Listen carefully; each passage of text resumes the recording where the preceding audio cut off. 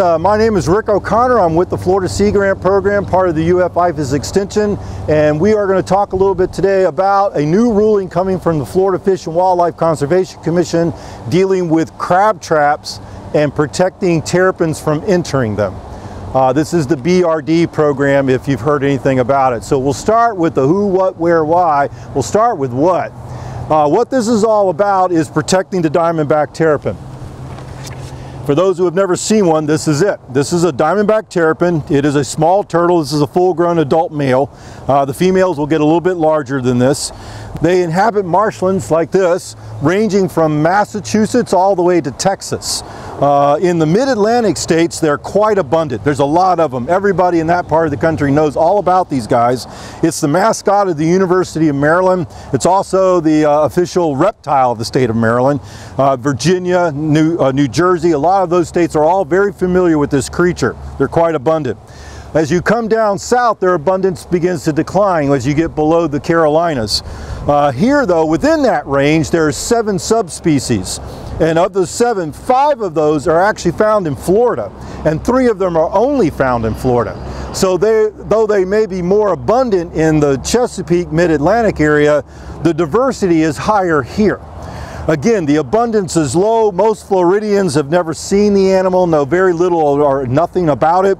But again, our populations are pretty small, and the part of the mission of FWC is to conserve Florida's wildlife. Uh, this particular animal throughout its range is running into a couple of conservation problems. Uh, one of them is depredated nests. There's a lot of native animals, particularly raccoons, that will come dig up the nest, eat the eggs. Uh, so that has been a problem. Another problem is the loss of habitat.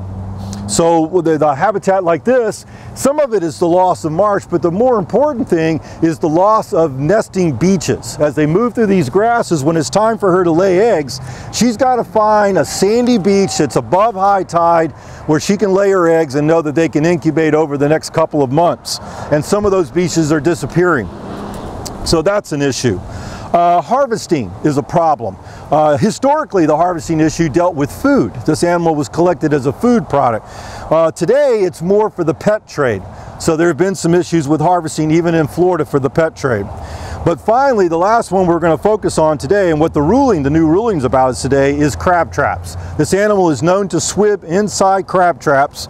Uh, being reptiles, they breathe air through their lungs and so eventually they will drown since they cannot get out. So the incidental drowning has become a problem. Up in the Chesapeake area, they're more abundant. They were having a bigger issue with this. They've been dealing with this for a couple of decades literally now. Uh, there have been one report I read where there were 40 dead terrapins in one crab trap. So if you've got that many turtles in one trap, then obviously you don't have blue crabs.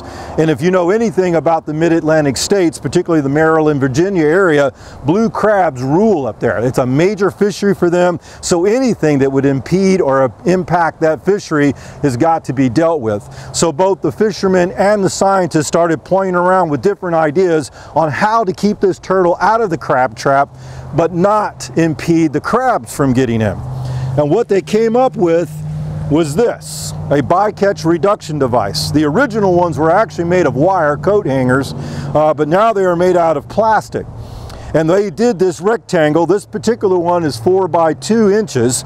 Um, but they would put these on the crab traps and what they found was the crabs could get through sideways. They could still turn in sideways, but the terrapin could not get in and they found a significant reduction in terrapins caught into traps. 80 to 90% of the terrapins were no longer caught, uh, but it didn't significantly change the crab harvest, and everybody was very happy with it. So they've been using these BRDs up in the mid-Atlantics for quite some time. In Florida, we don't see as many terrapins, period, and we certainly don't see as many caught in crab traps, though we do. I have personally seen that, uh, dead terrapins in a crab trap. Um, but because of the low abundance here, high diversity but low abundance, uh, the state has decided we need to do what we can to try to reduce the loss of any of these.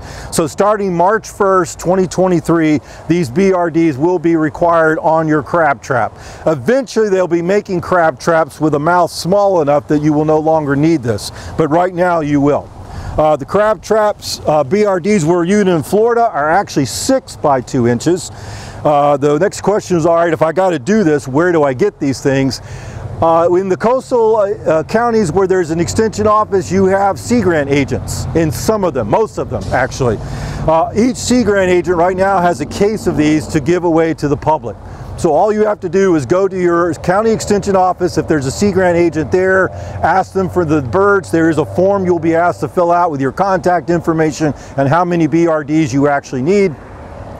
If you live in a county that does not have a Sea Grant agent, then call your county extension office and they'll give you uh, uh, the closest one to you so that you can get to one and, and pick up these BRDs. Again, they all have them right now. They also have fact sheets if you want more information. Uh, they can answer your questions. Uh, they have a photograph to show you how to put these things on. They can assist you with putting them on. And so the program will begin March 1st, 2023. If you have any questions about this project, please contact your local Sea Grant agent.